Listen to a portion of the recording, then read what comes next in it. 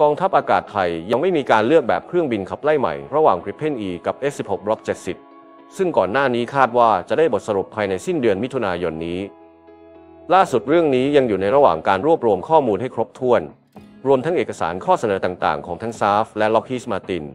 ที่ทยอยเสนอมาให้กองทัพอากาศพิจารณา ในส่วนของซาฟนั้นนอกจาก Gripen E และการปรับปรุงซาฟ340 ARI ยังมีการเสนอ offset policy ที่ให้ประโยชน์ในหลาย ๆ เรื่อง ทั้งการถ่ายทอดเทคโนโลยี การลงทุนในประเทศ การค้าต่างตอบแทน และการให้ทุนการศึกษา ซาฟยังมีการประชาสัมพันธ์ และพูดคุยให้ข้อมูลกับสื่อหลายสำนักทำให้เราได้เห็นข่าวสารในสื่อต่างๆ อย่างต่อเนื่อง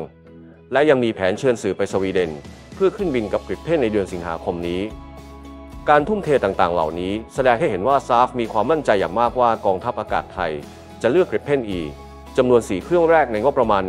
19,500 ล้านบาท ในส่วนของว่าพีสมาตินนั้นแทบจะไม่ได้ทราบข้อมูลมากนัก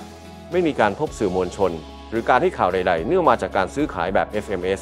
แต่จะเป็นการเจรจาและเสนอข้อมูลโดยตรงกับกองทัพอากาศไทย ส่วน offset policy ก็ยังไม่มีข้อมูลที่ชัดเจน เนื่องจากมีข้อจำกัดในหลายด้าน แต่ล่าสุดสหรัฐเตรียมจะเข้ามาหารือ และนำเสนอการช่วยเหลือทางทหารในรูปแบบต่างๆ อย่างเป็นทางการที่จะเป็นประโยชน์แก่กองทัพไทยที่สวีเดนไม่มี โดยจะต้องยื่นเอกสารประกอบให้กับกองทัพอากาศไทย